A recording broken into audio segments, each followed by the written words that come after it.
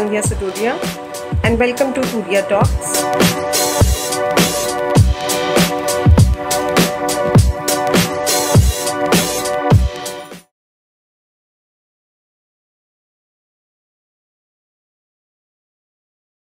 Good evening, everyone.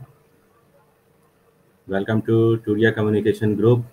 First of all, I would like to uh, thank uh, Turiya Communication uh, and uh, founder of Turiya Communication, Ms. Sandhya Sutudia, and their team for uh, conducting such a beautiful program, such a great program. Uh, since we are sitting at home, it's a very good initiative from Turiya Communication, and hopefully, whoever is joining and uh, later also they can see the video and they can understand, they can uh, gain some knowledge out of it. Myself, JP Poddar, I'm founder of uh, NetFrendz. I'm actually digital marketing strategist. And yes, I'm a cyber lawyer and I've done cyber crime investigations as well. You know, everyone is uh, nowadays, it's a online environment everywhere. We are working from home.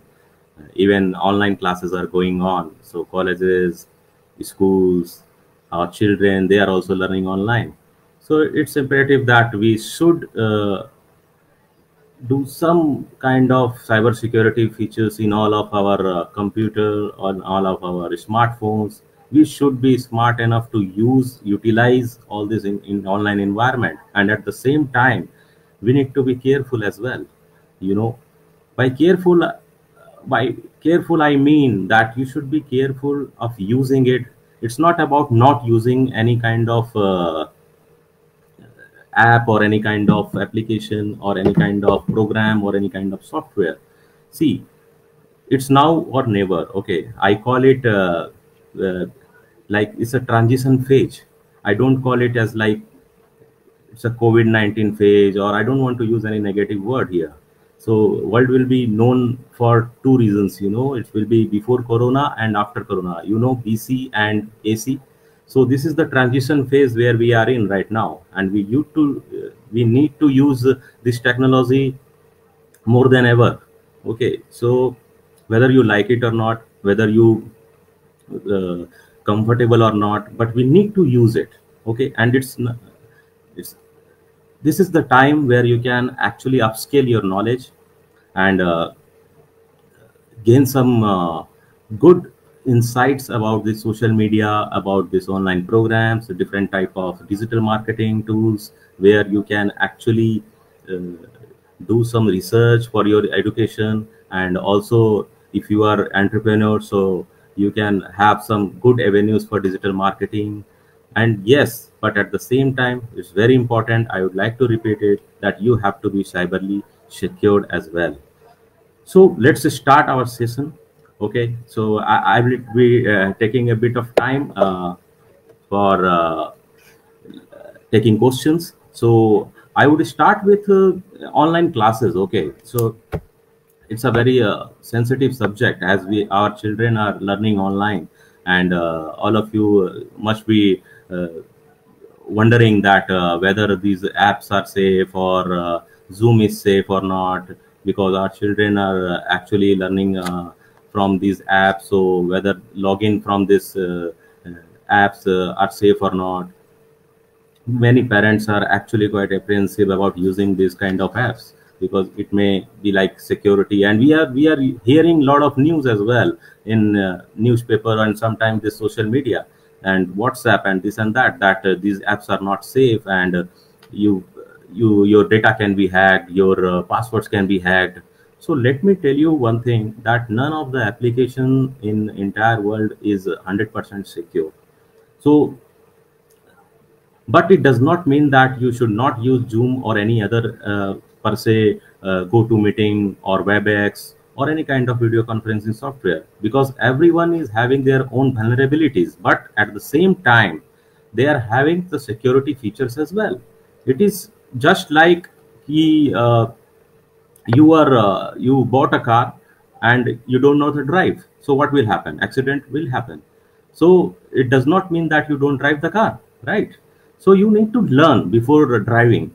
So or you will have to be cautious or you have to know basic features to uh, just like drive a car. So it is just like using an app or using an application online. So you have to understand that you you are using proper security features. You are applying all these security features which are recommended by all these applications. So if you are applying all these security features then there is no point you should be afraid of any kind of video conferencing software or anything like that. Cybercrime cell and not only cybercrime cell but rbi is also uh, doing a lot of uh, things to protect uh, uh customers banking customers uh, from this fraud or something like that. For an example i'm telling you you are using debit card credit card right? So if you are using debit card credit card uh, if you are using it online so or anywhere in the internet you need to first secure yourself. You have to see that what site you are logging in. Like suppose you are ICICI bank customer so you should always check that you are logging into right website so website should be like ICICI bank.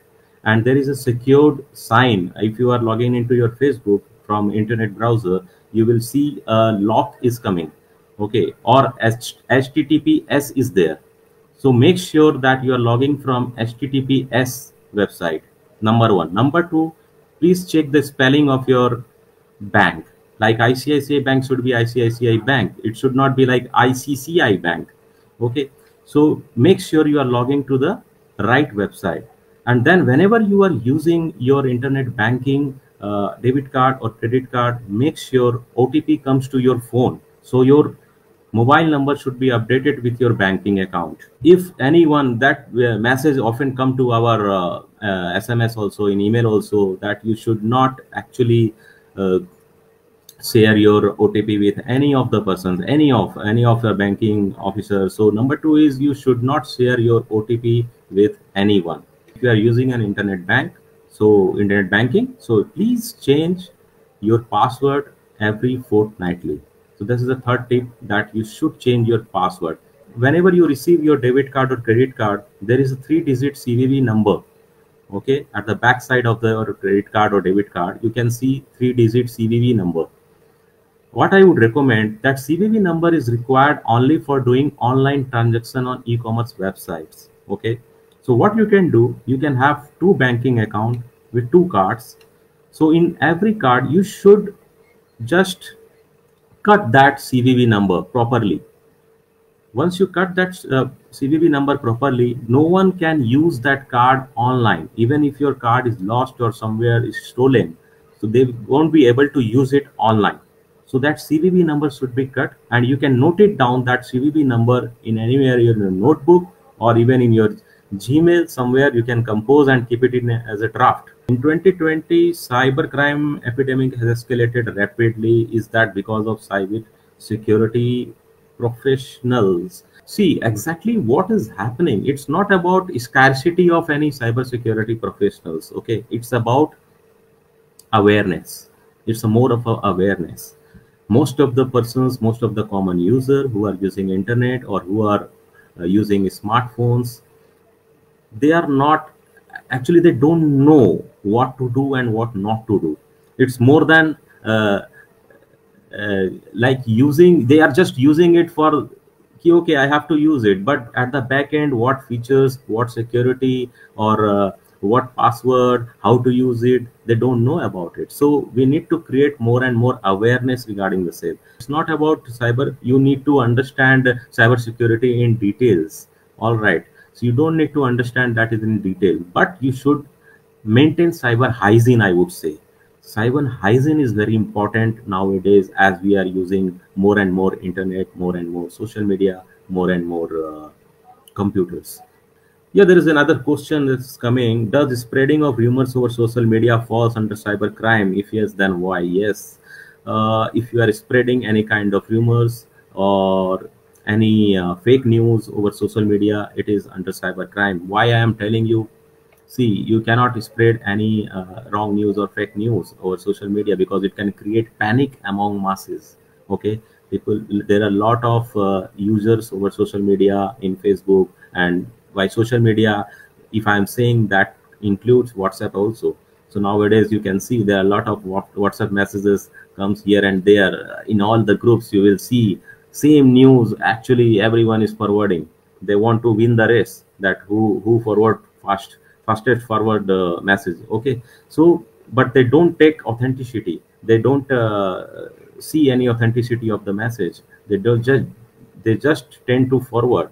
They just don't check so whether it is a like fake news or whether it is a like authenticated news or correct news they don't just check. So uh, they just uh, try to spread some rumor some kind of uh, misinformation. So you cannot misinform any any of the persons who are in social media because there are a lot of users and they follow social media. All right.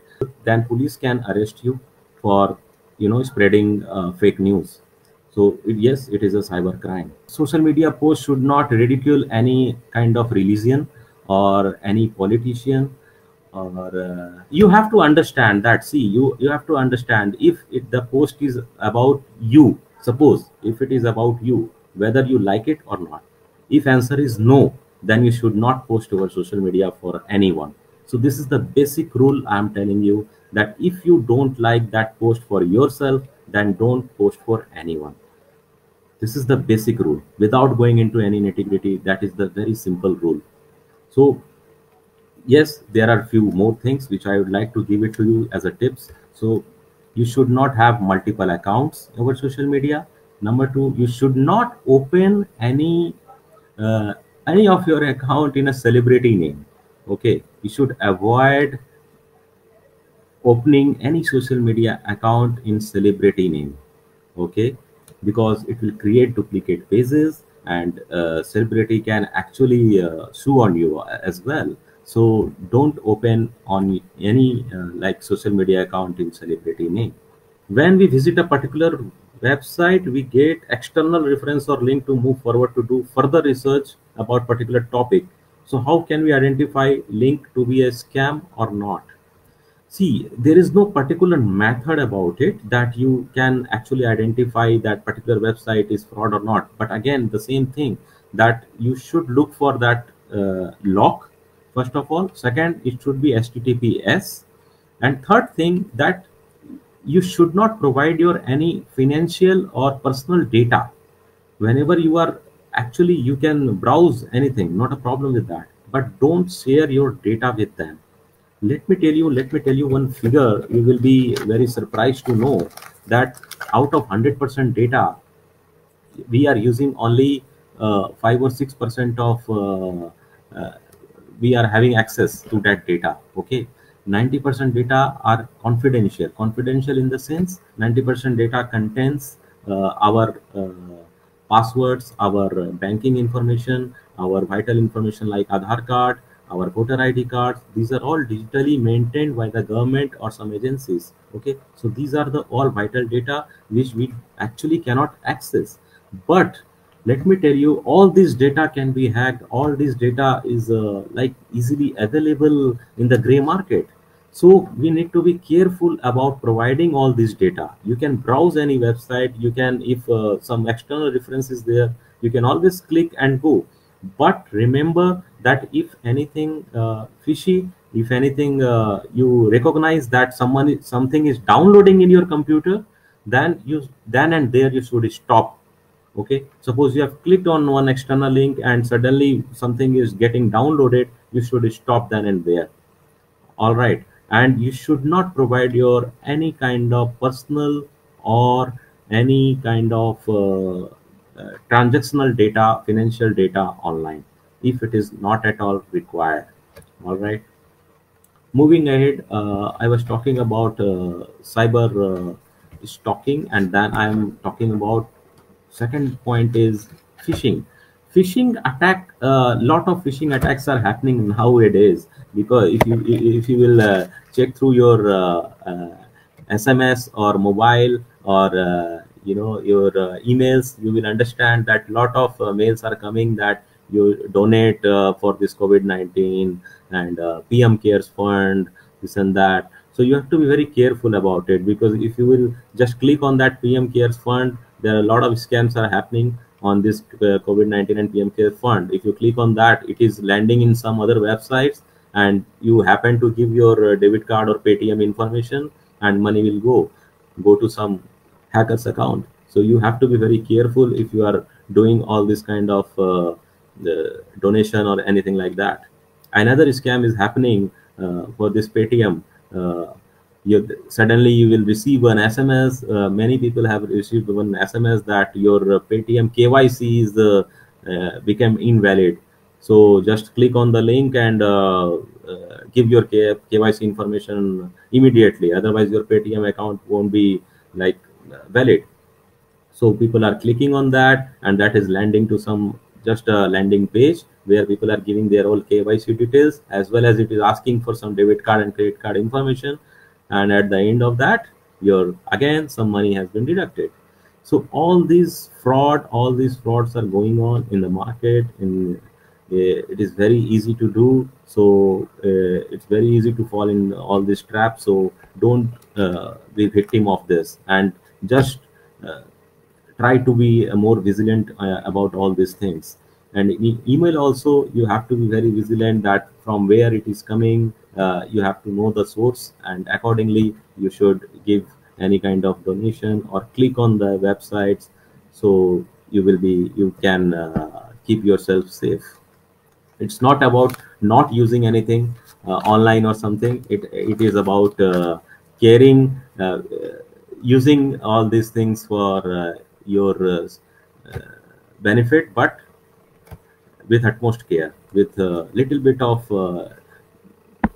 safety features little bit of security settings you will be safe so there is nothing to afraid of it so uh, this is uh, all about uh, my cybersecurity session today, and uh, there are a lot of topics which we can cover. But uh, yes, in uh, 40 minutes time, we cannot cover everything. Uh, I hope this session you will like it, and uh, there are uh, many topics which you can ask. You can ask few questions as well, so I can answer that. All right, thank you so much.